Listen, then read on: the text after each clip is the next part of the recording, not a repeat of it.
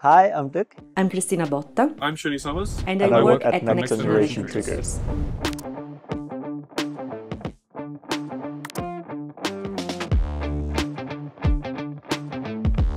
So, what are we doing? Here at CMS with the Next Generation Triggers project, we're working on improving the trigger system of the CMS experiment. As you may know, the LHC collides protons at a very high energy and a very high rate of 40 million collisions per second, and as a result the experiment constantly generates a vast amount of data. Since we cannot store all of that information, we have a trigger system to do the first stage of processing of the data. It decides in 10 microseconds which events are interesting enough to keep for further analysis. To work on these improvements, we have many professionals here at the CMS experiment and next generation triggers. In our team specifically, we're working on improving the selections that the trigger system makes using machine learning. When the trigger system decides not to keep an event, it can never be used in the further analysis.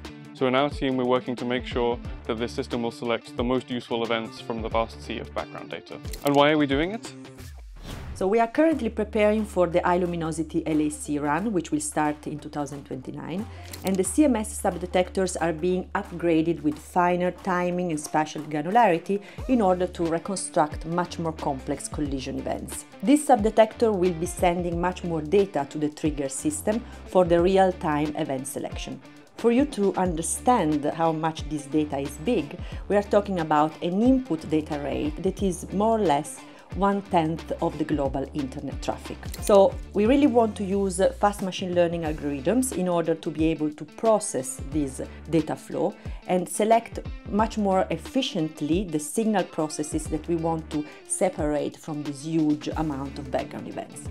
So the ultimate goal is for us to try to expand the trigger acceptance of the current system in order to potentially unveil this new physics phenomena that might be hiding under this huge amount of background events that the current trigger system are rejecting. So let's now see how we are doing that. Here at CMS, we're developing AI technologies that can run on specialized hardware, like field programmable gate arrays, aka FPGA, to make incredibly fast decisions up to 40 million times per second. This technology helps us identify in real time subatomic particles as they emerge from the high energy collisions from the Large Hadron Collider. These particles can be electrons, muons, or even jets. By recognizing these objects instantly, scientists can reconstruct what happened during each collision and uncover new insights about the fundamental forces of nature. Our team focuses on optimizing AI models in order to accurately identify these physics signatures while adapting to the detector's environment.